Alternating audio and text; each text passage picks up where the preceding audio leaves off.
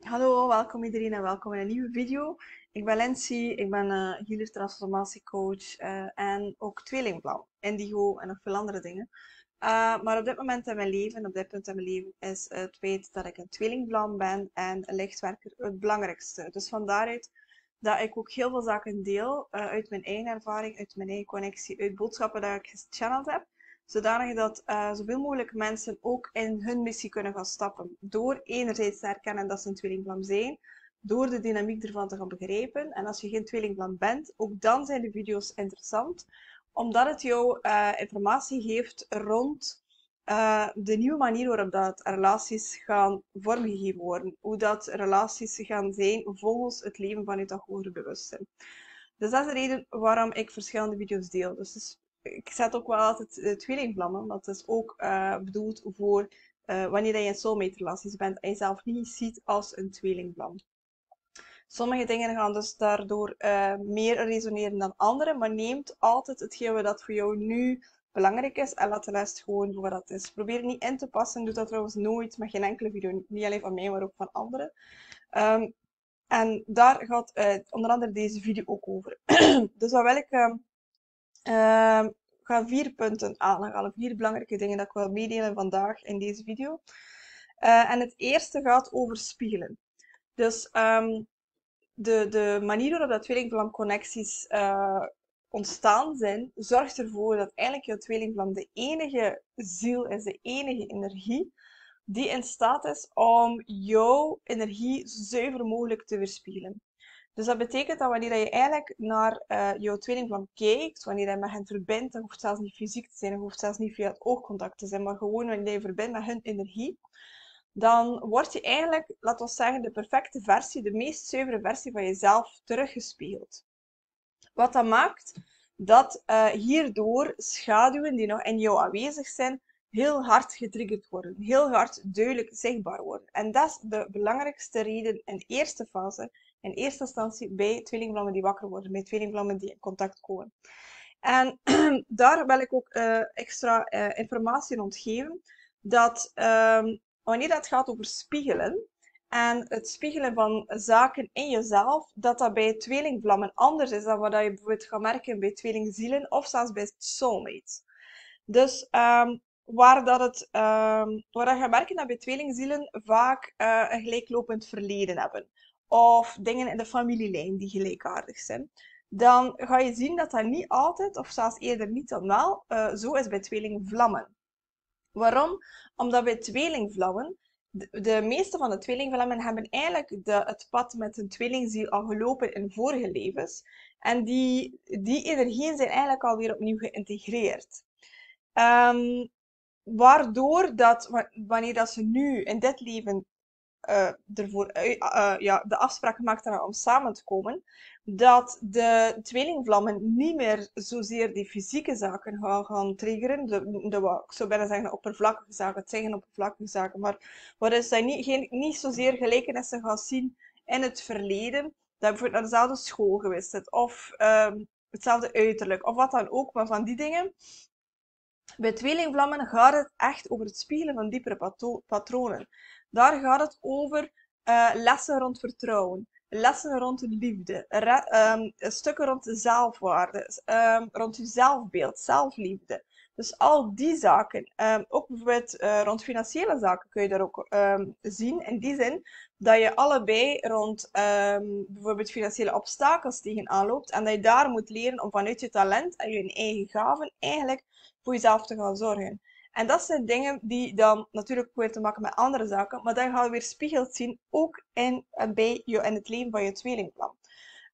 Um, ik heb ooit een video gemaakt, um, nog niet zo lang geleden, uh, maar je vindt hem terug in de playlist, waarin ik ook uitleg dat uh, ook diep zwaar verdriet, waar dat de een doorheen gaat, ook voelbaar is bij de andere. Ook al begrijp je dat moment niet wat er gaande is.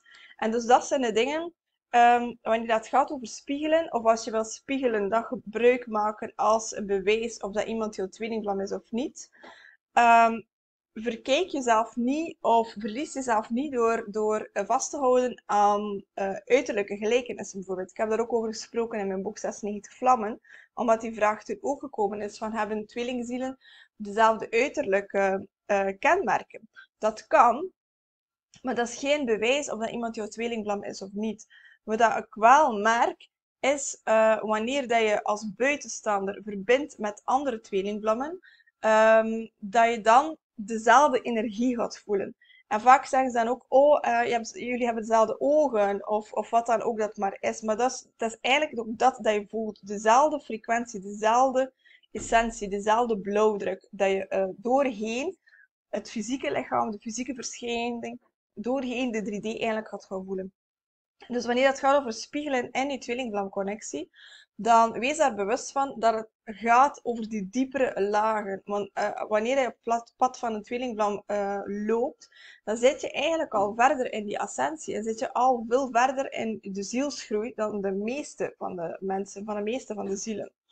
Uh, en daarom komt dan ook je tweelingvlam op, op dat pad om dat te gaan zuiveren. Om dat eigenlijk te spiegelen, zodat het kan gaan zuiveren.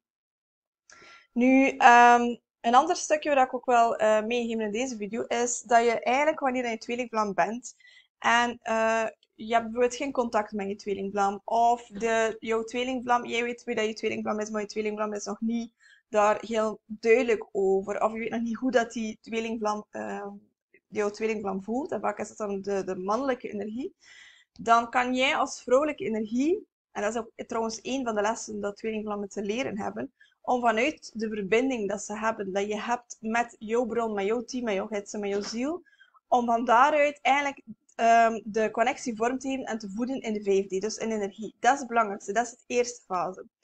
En um, hoe meer dat jij als vrouwelijke energie die, uh, die fase, die relatie, dus die, die de connectie voedt en uh, koestert en uh, krachtiger laat worden eigenlijk, hoe gemakkelijker dat ook gaat zijn om je, voor, je divine masculine, dus voor je mannelijke energie, om uh, jou ook in de 3D te erkennen als zijn um, vrouwelijke energie, als zijn counterpart, als zijn wederhelft, of hoe je dat ook wil noemen. Dus um, als je twijfelt, als je wil weten hoe en wat dat er aan de hand is met je divine masculine, waarom dat hij niet reageert, waarom dat hij stil is, waarom dat hij uh, reageert van het ego, waarom dat hij bepaalde dingen zegt, ga naar binnen. En ga, uh, val niet in, in, de, in de trap, in, in, de, in het automatisme om actie en reactie, dus vanuit je wonden ook te gaan reageren. Uh, maar ga naar binnen en verbind in energie met zijn ziel, met zijn ware essentie. Dus, en dan um, ga je voorbij dat ego kunnen kijken. Ga je voorbij zijn wonden kunnen kijken of haar wonden kunnen kijken. Om te begrijpen van waaruit dat zij op dergelijke manier wel of niet reageren. Um, je kan ook op die manier, eigenlijk telepathisch communiceren, dat je ook meer en meer gaat gaan oefenen en bewust gaat gaan inzetten. Um, en dat maakt dan dat je gewoon door naar binnen te gaan en een heel eenvoudig manier om dat te doen is gewoon om te vragen aan jouw team van kijk, laat mij zien waar dat hij of zij is. Laat mij zien wat dat hij of zij mee bezig is. Of laat mij voelen wat dat hij voelt. Uh, of uh, vertel mij wat dat uh, hij of zij mij wil zeggen. Uh, en afhankelijk van waar dat jouw helderheden zitten, en dan heb ik het over helderziendheid, helderhorendheid, helderwetendheid of helder ehm, dan gaat jou, uh, de boodschap dat je het krijgt op een andere manier binnenkomen. Ik ben bijvoorbeeld in eerste instantie helderhorend, dus bij mij zijn het vaak boodschappen. Maar wanneer dat, dat belangrijk is voor de sessie of voor mijn eigen connectie of wat dan ook, dan ga ik ook beelden krijgen bijvoorbeeld, of een gevoel krijgen, of ga ik het gewoon weten. Um, dus dat is ook belangrijk dat je jezelf dan weet van wat is mijn primaire kanaal, wat is eigenlijk mijn voorkeurskanaal, op welke manier ontvang ik in eerste instantie en het makkelijkste die boodschappen. Want hoe meer je dat ook gaat gaan doen, hoe meer dat jouw team dan weet dat ze op die manier boodschappen aan jou kunnen en mogen geven. Dus ook daar is het gewoon een kwestie van oefenen. Gewoon experimenteren, kijken wat er komt uh, en daar uh, het nodige werk in doen. Maar dus, uh, als je dus wil weten en er is geen contact met je tweelingvlam, in het fysieke, in de 3D laat maar zeggen, dan kan je eigenlijk op die manier met je tweelingvlam gaan verbinden. Dus via die telepathie. Um, als je geluid hoort, dat is mijn stofzuiger die bezig is, dus mijn excuses als, als, als stoort. Um, een derde, die uh, eigenlijk ook gekoppeld is aan het vorige. Dus wanneer je telepathisch gaat communiceren met je tweelingplan, of met jouw hogere zelf, of het hogere zelf van je tweelingplan.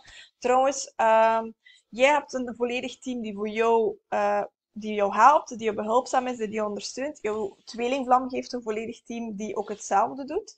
En dan is er ook nog een team die eigenlijk volledig paraat staat voor de connectie. Dus eigenlijk voor de, de union, voor de eenheid tussen jullie beiden. Dus het voordeel van uh, dat je, wanneer je dat weet, dus dat je een eigen team hebt, jouw, team, uh, jouw heeft een team en er is een team voor je connectie, dan kan je daar ook mee gaan bewust gaan samenwerken.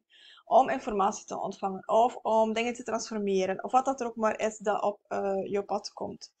Nu, wat dat wel belangrijk is om te weten, en zeker als je aan het begin staat van ontwaking, van het leren ontvangen van boodschappen, van het channelen en zo meer, dan uh, ga je merken dat wanneer dat er hiaten zijn, wanneer dat er onduidelijkheden zijn, of wanneer je niet volledig kan vatten wat dat er getoond wordt of wat er aan de hand is, dat eigenlijk jouw ego gaat gaan tussenkomen. Dus je ego gaat op dat moment je eigenlijk een stukje saboteren. Waarom? Omdat die de hiaten gaat gaan invullen om het beeld kloppend te maken, volgens het referentiekader en volgens de ervaring die je gehad hebt. Maar dat is nu net de valkuil of het gevaar, dat um, wanneer je uh, op het tweelingplanpad loopt, zijn er heel veel zaken dat je, als, dat je ego eigenlijk niet kent. Um, die anders zijn dan wat we gewoon zijn. Die, die uh, mogen veranderen en, en dus anders ingevuld en aangepakt worden dan wat er vanuit de maatschappij verteld wordt. Dus ook daar is belangrijk om in eerste instantie daar bewust van te zijn. En um, ook heel bewust om te gaan met de zaken die je niet begrijpt. Uh, soms moeten zaken gewoon ook gevoeld en doorleefd worden, zonder dat ze verklaard worden van het logisch verstand. En net om alles dat proberen uh, logisch te verklaren, um, zorg er eigenlijk voor dat je uh, ja, vanuit wishful thinking, vanuit, vanuit je angsten, dus eigenlijk vanuit je trauma, dingen gaat gaan invullen die niet werkelijkheid zijn, die niet correct zijn. Dus ook daar probeer zo zuiver mogelijk te gaan channelen voelt het niet oké of merk je van oké, nee, die gedachte of dat beeld, dat geeft mij angst, laat het. Want uh, eh, 99% zeker dat het vanuit je trauma en dus vanuit je ego voortkomt en niet vanuit je channeling. Want um, de boodschappen die we channelen zijn altijd adviesgevend en gaan altijd vanuit licht en liefde zijn en nooit vanuit angst of laagtrillende emoties. Dus daar is wel um, een, een handige tip uh, om daarmee om te gaan. En weet dat als je geen antwoord krijgt, dat dat ook een antwoord is. En vaak heeft is de reden daarvoor dat het aan jou de keuze is om daarin te leren beslissingen te nemen, om leren intenties te zetten, om bewust te gaan kiezen wat je wilt. En dan zetten we bij het vierde waar ik vandaag over wil spreken. En dat gaat over die valkuil van de gedachten, die valkuil van de mind. Um, want um, ik merk het jammer genoeg bij zoveel mensen, zowel mensen die met me samenwerken, als mensen die reageren op video's of uh, gewoon in het dagelijks leven, dat de manier waarop dat we denken over de situatie ons voortdurend vastzet en houdt waar we zitten. Um, mensen zijn zodanig geconditioneerd aan hoe dat dingen verlopen, aan hoe dat dingen kunnen zijn, dat ze niet bereid zijn om het nodige werk te doen om die mind te openen en om eigenlijk alle mogelijkheden te open te houden. En dus daarom uh, is eigenlijk een van de grootste dingen waar ik samen met klanten aan werk, en zeker in één op één sessies, is aan, aan die overtuigingen, is aan de keuzes die we maken. Want je hebt elke dag een keuze, zelfs ook in je tweelingblanconnectie. Je hoeft niet te aanvaarden dat iemand anders jou voortdurend pijn doet. Ook dat is een keuze. Uh, een van de dingen dat ik ook altijd uh, vertel aan mijn uh, klanten, aan de mensen die met mij één op één samenwerken, is van ehm, zolang dat het in de 3D niet bewezen is dat de andere tegen jou zegt van ik hoef jou niet en ik wil geen relatie meer met jou of, of, wat dan ook. En dan nog, daar is daar ook weer een uitzondering op, zeker als het gaat over de tweelingplan. Maar dan nog, um, dan heb je de keuze om op een andere manier je de realiteit en eh, de mogelijkheden gaan in te vullen. Dus als je de keuze hebt tussen een, een positief, uh, goed voelend uh, beeld of mogelijkheid om je, leven te vorm te geven, waarom zou je dan, dan gaan kiezen voor de worst case scenario? Want waar dat jouw energie naartoe gaat, dat is hetgeen wat je manifesteert.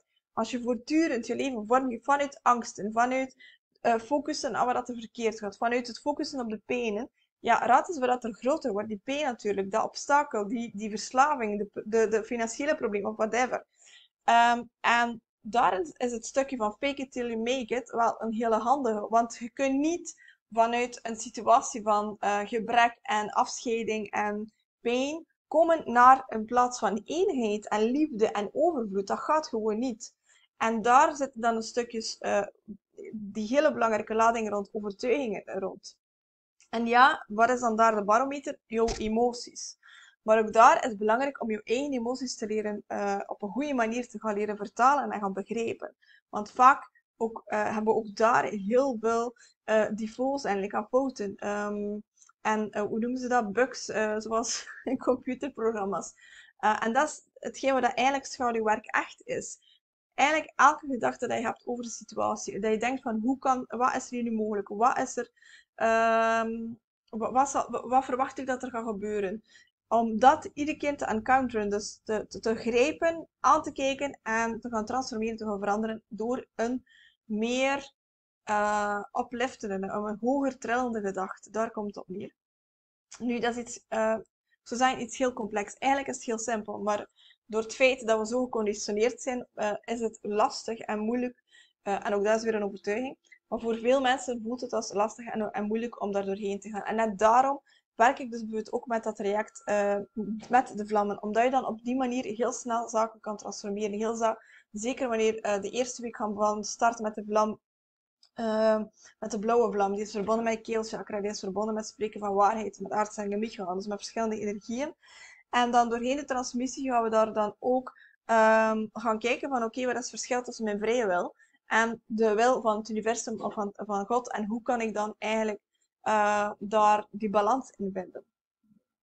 Dus dat en zoveel meer. Uh, maar dus, um, korte samenvatting. Als je spiegelt, zeker bij tweelingvlammen, dan gaat het zeker niet over die oppervlakkige zaken, maar gaat het over dieper liggende uh, patronen, emoties, um, wonden eigenlijk. Dus echt die diepe zielslessen, hè, zoals ik al uh, verschillende video's ook over gemaakt heb. Leer op, uh, zeker als vrouwelijke energie, verbinden met je tweelingvlam via telepathie, dus via energie, door naar binnen te gaan, door te verbinden met de energie. Je kan ook visualiseren dat ze voor jou staan en op die manier gaan werken. Uh, derde, let op wanneer dat je boodschappen ontvangt, dat je ego geen hiaten of stukken invult om het passend te maken of binnen je referentiekader te laten passen. Want de bedoeling is dat je er buiten gaat gaan stappen, dat je het anders gaat gaan doen, dat je uh, in dat onbekende durft te stappen en het op een andere manier. En dus is weer overgave en vertrouwen weer een belangrijke. Uh, en de valkuil van je mind. Echt waar, dat is voor de meesten een hele moeilijke. Uh, voor de meesten het grootste obstakel eigenlijk en de grootste les waar ze tegenaan lopen. Dus ook daar, uh, kijk voor jezelf, voel voor jezelf uh, waar je staat, wat je nodig hebt en doe wat dat nodig is. Zeker als je een tweelingplan bent, zeker als je lichtwerker bent, want er zijn heel veel mensen die op jou rekenen en die op jou wachten om van jou dat weer verder te leren. Net zoals dat jij hopelijk van mij ook mag leren. Zo, dat was voor vandaag. Als je wilt deelnemen aan het traject, um, dan zou ik zeggen, het traject is in principe uh, het hele jaar door toegankelijk. Maar dus de live sessies waarin dat, dat, we, dat ik elke week dat samen met jou of jullie um, aan de slag ga, is enkel maar, uh, start enkel in april en enkel in, in, oktober. Dus dat zijn maar twee momenten doorheen het jaar. Uh, waarom? Omdat ik anders te weinig ruimte heb voor individuele trajecten. en dat zijn ook de, de, de de plaatsen waar dat de mensen de diepste groei doorheen maken. Dus um, dat was het voor nu. Um, ik ga straks nog um, wat notities maken voor een volgende video. Uh, maar ik had nog beloofd om iets te doen rond andere energieën in het tweelingvlamconnectie. En die ga ik nu uh, ook zo dadelijk opnemen. Tot in de volgende. Love you!